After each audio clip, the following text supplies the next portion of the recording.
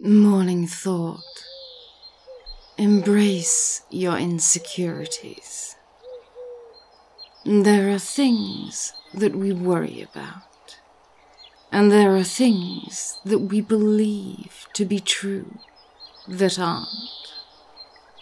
The only way to test whether or not they're true is to follow through on the fear. Many people believe that they can't do something simply because they've never tried.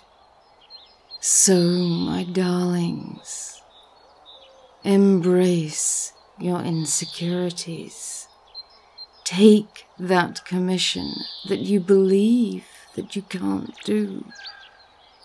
Push yourself that little bit further until you're outside of your comfort zone. That is where you will achieve growth. That is where you will find out that you are far more capable than you ever thought. And that is where you will find self worth. If your problem is saying no to things, then start small. Say no to someone you trust. Learn that they will not hate you for it.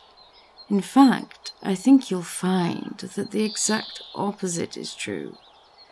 Once you start saying no and setting boundaries, you will find that people treat you with more respect. If your insecurity is writing about certain kinks, take a commission that includes those kinks. Push yourself. Make sure that you have to face that fear and realize that it's all in your head. You can do this, my darlings. You can explore beyond your comfort zone, and you can challenge your own mind. Don't let your assumptions rule you. You can do this.